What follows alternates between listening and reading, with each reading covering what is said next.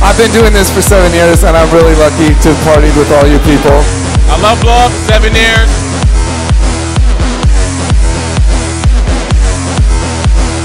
We're here with Blow Up, ah, seven year anniversary. What is the most memorable moment you've had here at Blow Up? My first time at Blow Up. Just uh, like one of my first club experience. I was like 22, and just the music, the vibe, everyone in there, all the beautiful people, and meeting Ava for the first time. She took my very first picture at Blow Up. After that first day, I was like, I'm coming here all the time.